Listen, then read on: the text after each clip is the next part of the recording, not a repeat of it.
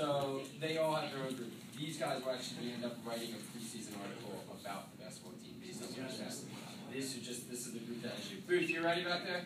Yeah. All right. Uh, whenever you guys are ready, you guys I can know, get it's going gonna and suck. race in front of me. Yes. Yeah. Right there. How do you manage your time this being my first year, that's that's absolutely been the biggest dilemma that I have, especially just I a four-year-old or four-year-old, four-month-old baby at home too. Um, scheduling everything out ahead of time is very, very important. I have to have a calendar weeks ahead of time, just knowing so everybody's on the same page where I have to be for my basketball obligations and also things that come up at home. So I would say that the planning part of that is definitely the most important, or the most important part of it because it is definitely, you know, there's only so much time between basketball and family and stuff like that. Was her cousin like happy for you, or was she kind of like stressed? It's a good question. Um, I think she's probably conflicted.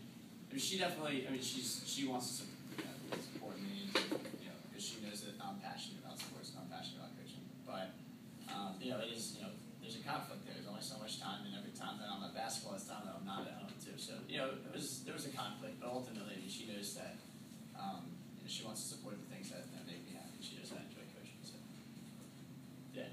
Um, so this is like your first season. Uh, how have you managed to get your team ready for the first game? There's a lot to that. We focused a lot on um, obviously the physical aspect is something that all coaches are going to focus on. You know, getting in shape and you know executing plays and stuff like that. That's part of it. But I think, um, especially recently, we've been trying to focus as much on the mental aspect of it, getting you know that, that competitive nature instilled in everybody, um, and the, you know, the sense of belief that you know we can play with whoever we're playing on the floor. That we shouldn't feel intimidated by getting higher. So I think that's been a big part of how we prepared, not just you know the, the executing the drills or the you know the physical workouts, but also trying to get that mental edge in terms of you know getting yourself ready to compete at a pretty high level. We'll go to the back first. Uh, what things do you need? What do you think needs to happen to make your team a playoff team this year? what needs to happen makes a playoff team.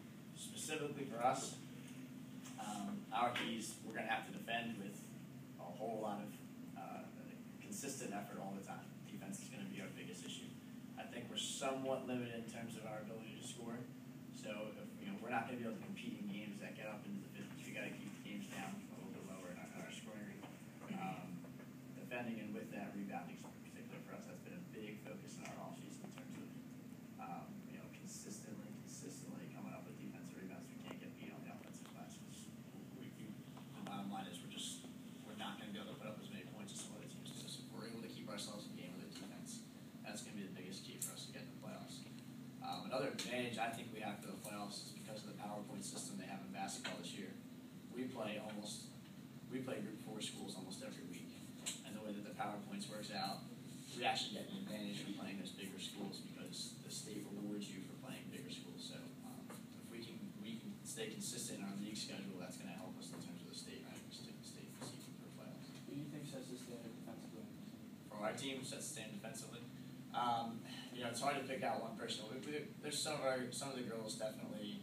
Um, they're, they're more defensive specialists than others, but we're really trying to create a culture of team defense. Everyone has to be on the same page all the time, um, especially because a lot of things we do require people to rotate around in different spots on the floor. So four out of the five of us all know all know how to execute the defense, but that one person has to make that last rotation we get beat. So um, it's hard to say that one person definitely sets the standard as much as you know we have a real team approach on offense and on defense because it, so much of it incorporates everything. Yeah. Um, what if the majority of returning seniors did not come back to play this year? What if they had not? Yeah. Well, that hurts for a number of reasons. Obviously, you know, the older you get, the more you know physically developed you become. You get stronger, you get quicker, you know, you get faster, all those things. Um, but for us, particularly, we we lost five seniors last year. So if we hadn't had the returning seniors from this year, it would have hurt not just from skill um, perspective, but equally, if not more so, from a leadership perspective. We're already really limited in terms of the girls on the team this year who have varsity minute experience as opposed to what we've had in the past. So if we hadn't had that core group come back up, that would have been a huge blow. Scoring and leadership wise. Who's going to replace those seniors that don't play this year? Gotta have, you know, we're, we're very young this year. We've got, um, you we'll project to start at least one sophomore, maybe two. We're gonna have, uh, we're gonna have to have some freshmen even step, step up to the varsity level. Um, you, you can't replace five seniors, they they just, the- what they bring in terms of, like I said before, the leadership and the skill, you can't replace it.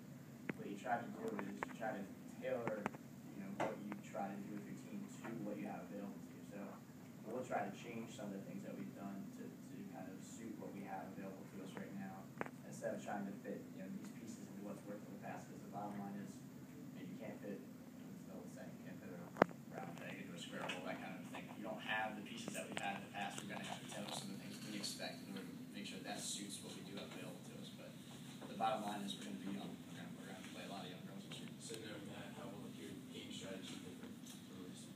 Um, I mean, there's there's a lot of things to it. Uh, like I said before, we're relying more on defense to produce offense for us, also to keep us in games.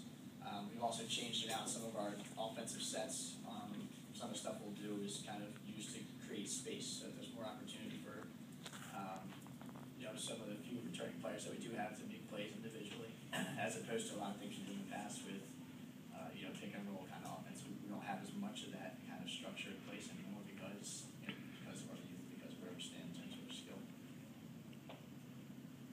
Uh, will there be a lot of people coming off the bench to play for you? That is one thing I would say is uh, that's probably one of our advantages in that.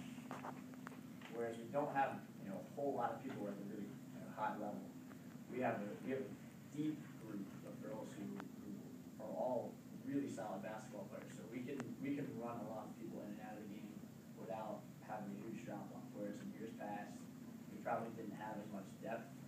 That allows us to do a lot of things. It allows us to get out and run, you know, and transition offensively.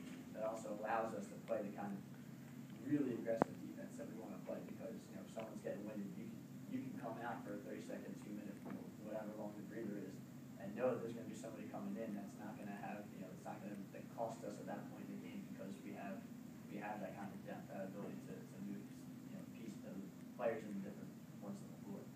The other thing that we have is we have some versatile players. We have a number of girls who can play a number of different positions so that we're not dead set into, you know, our point guard comes out, this person can only go in and play the point, or this person can only go in and play the three. Um, so because, since we have that versatility and we have a good set of numbers of those girls, that allows us to, um, to exploit that as an advantage for. Okay, yeah. What strategies do you use to ensure that your team will work together? That's something we try to focus on this year too. Um, we're trying to do some things where it, it is hard too because you want practices to be competitive in the sense that we get the most out of practice when our players are trying to beat one another at something. And you guys all know how that is, whatever it is you're doing, you're trying to, if you have some sort of, some sort of reward there, you know you're trying to win something, you just know you're gonna be more motivated to do it. But at the same time, we also want everybody to understand that we are playing for a common goal too.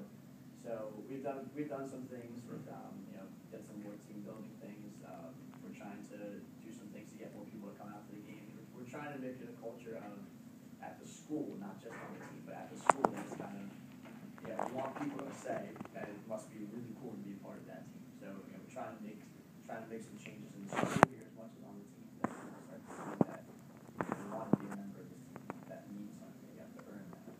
So, I think that kind of helps bring everybody together to, everybody back. What do you think the mindset of your players to be going throughout the entire season?